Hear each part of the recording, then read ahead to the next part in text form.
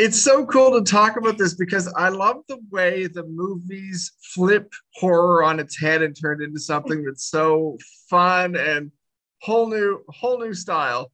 So I'm curious, you know, there's a lot of change this time. The, the, there's there's aliens afoot. how is that affecting their you know their relationships and how they're doing with this new era in their lives? I guess. I mean, I guess it's really something they weren't expecting. You know, it's like, well, we've already had to, you know, zombies, okay.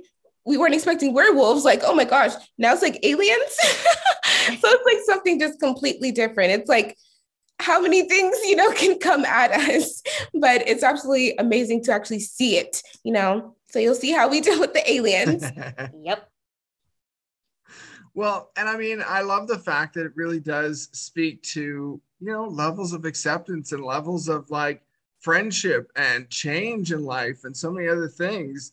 You know was that meaningful for you for either of you in terms of like reading the script and then getting to play with it? Because it's also fun though.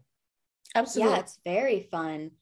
I mean you grow with your characters and seeing them go through different challenges and seeing how they overcome and it's a beautiful thing and there's things that you can take away from from it in your real life so it's like it's really nice Yes, and I absolutely love like, you know, just with the auditioning, just seeing how the character is.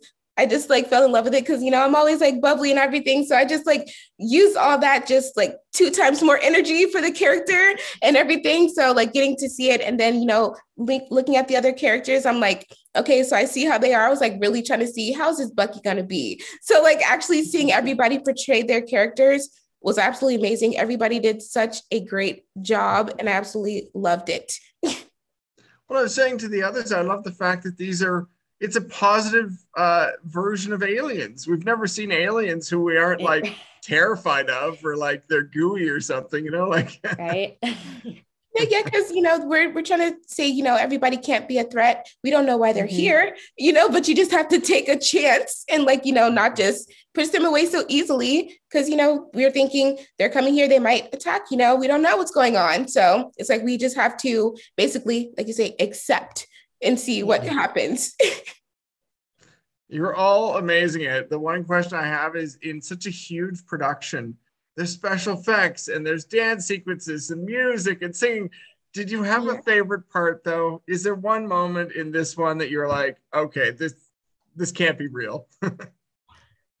Honestly, really, because you know, I see it in all the you know action movies, but I've never seen things, you know, explode and like light in front of me. So actually being on set and getting to see that in person, I'm just like, oh my gosh, like it's really, it's really cool.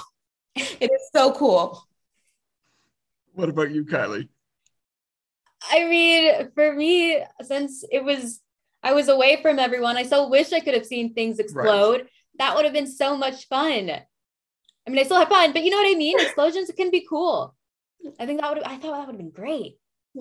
Well, you know, on that side, you know, we've seen movies where there's the person in the chair. What's it like being the person in the chair?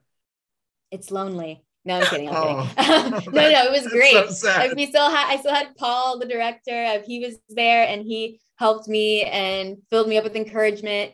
And um, it was nice still being able to help. You know, like uh, like Eliza was still involved, and that was very nice. That was fun. Well, last thing I got to ask you both is if there's something else, if there's a new threat, we get Zombies 4, you know what what is that threat going to be that you wish it could be I always, I'm gonna say it. I always my answer: vampires. I want to see like how would we react to vampires? Like seriously, like what yeah, would happen? I agree with you. I feel like vampires are another like creature that's usually really scary, and like it'd be interesting to see how, you know, like what would their dance moves be like? Their outfits. Mm-hmm, yes. yes. Well, thank you both so much. Oh, thank, thank you. you.